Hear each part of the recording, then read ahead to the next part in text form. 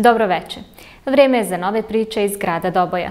U Dobojskoj mjesnoj zajednici Ševarlije završen je još jedan infrastrukturni projekat, u čiju su realizaciju grad Doboj i Federalno ministarstvo raseljenih osoba izbjeglica uložili stotinu hiljada konvertibilnih maraka.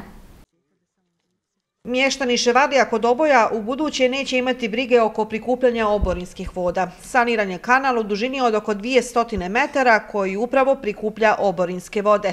U sklopu realizacije projekta u ovoj povratničkoj mjesnoj zajednici koja broji oko 350 domaćinstava, podignuta je i bezbjednost saobraćaja na viši nivo, naročito pješaka.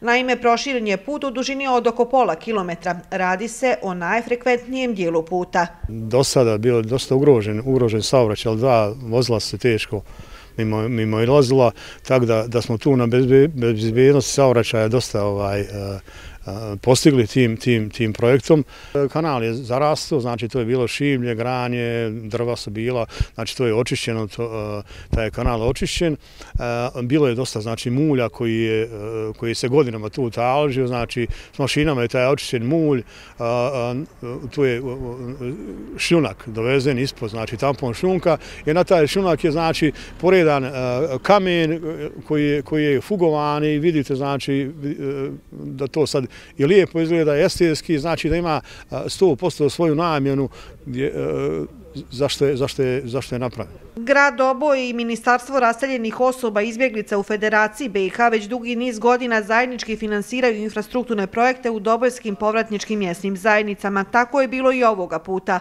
Ovo je jedan u nizu projekata, u njegovu realizaciju u Ševalijama uloženo je stotinu hijeda maraka. Mi imamo potpisan sporazum o učešću Eh, ministarstva od 51% i učešće grada od 49% i zato smo eh, lokalna zajednica u Republici Srpskoj koja je najviše projekata uradila eh, zajedno sa federalnim ministarstvom. Naše opredeljenje je da na taj način obuhvatimo što veći broj naših mještana, naših mjesnih zajednica i što veći broj projekata.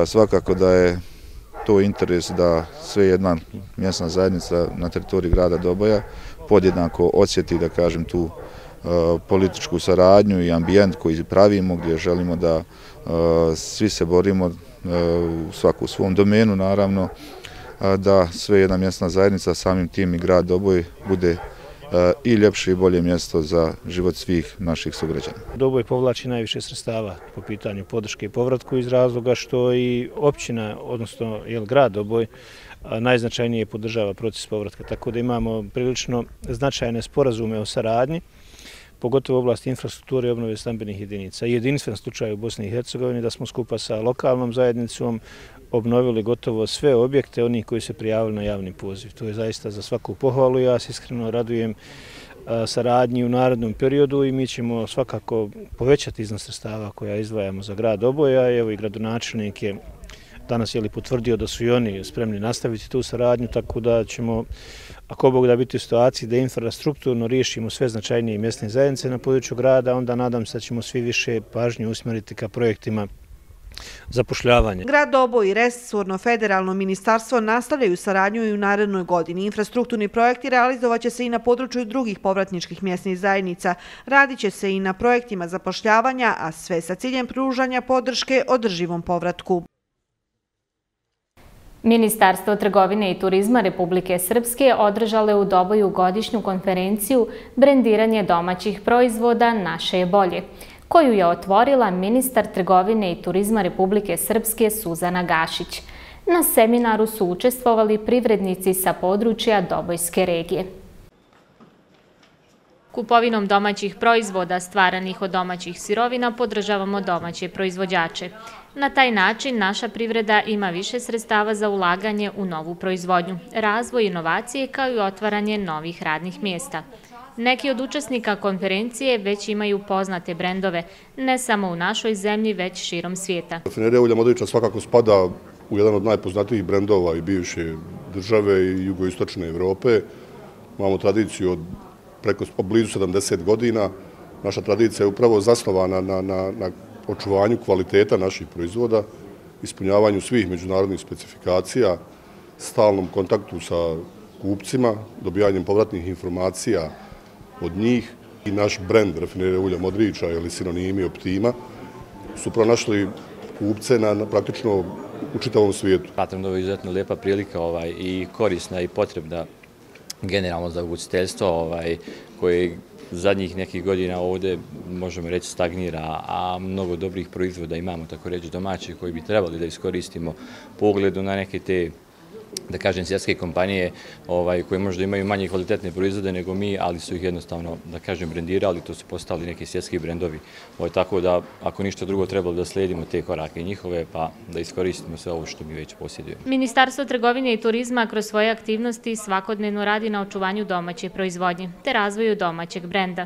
Na taj način Resorno ministarstvo se opredijelilo da bude partner preduzećima u nastojanju da se što više promoviše domaća proizvodnja. Kako su rekli iz ovog ministarstva, tu su da olakšaju domaćim proizvođačima promociju njihovih proizvoda, jer sam proces brendiranja je dugotrajen i skup. Konferencija i saradnja sa privrednicima jeste usmjerena u tom pravcu da nađemo zajedničke načine kroz povratne informacije od naših privrednika, da vidimo šta bi njima olakšalo i omogućilo lakše brendiranje proizvoda, E, šta bi moglo da ministarstvo uradi kako bi pojeftinilo te procese. Naravno, tu su i nekakvi projekti kroz koje se može pomoći i u finansijskom smislu brendiranje proizvoda, ali naravno i ono o čemu svi pričamo i u zadnje vrijeme i prethodnih godina jeste pojednostavljenje svih procedura. Pa tako i procedura brendiranja proizvoda, što jeste i e, na, naravno e, želja ministarstva da pomogne privrednicima. Ono što smo uradili u prethodnom periodu nije dovoljno vidljivo, ali procedure brendiranja nisu baš toliko komplikovane, tako da su naši neki privrednici privrednici izvršili. Imali smo tjestenine koje su e, brendirale svoje proizvode. U principu radi se o promovisanju jednog poznatog loga koji će biti prepoznatljiv na svim policama i kada ga vide proizvođači znaće o čemu se radi. Iz Dobojske gradske uprave su naglasili da pomoći podrška lokalnim privrednicima koji se odluče za brendiranje proizvoda neće izostati. Mi kao gradska uprava i gradonačelnik i ja sam podržavamo E, ovakvu inicijativu i ovakvu organizaciju i ne samo e, imali smo prilike u prethodnom periodu da imamo ovdje i sajam, mini sajam poljoprivrede gdje su naši proizvođači sa regije izložili određene svoje proizvode i vidjeli smo da kapaciteta ima, da volje ima. Tako da je ova današnja konferencija ide u tom pravcu i vjerovatno će e, dati nešto novo što što će svakako u narednom periodu poboljšati kvalitet proizvodnje e, i ta inicijativa sama riječ kaže naše bolje u svakom slučaju i u svakom pogledu podržava. Ovogodišnji domaćin konferencije na temu brendiranje domaćih proizvoda Naše je bolje bio je grad Doboj, a učešće su uzeli privrednici sa područja Dobojske regije. Bilo bi to sve što smo vam pripremili za današnje izdanje emisije Aktuelno u Doboju. Pratite nas i na www.rtvdoboj.org. Do gledanja.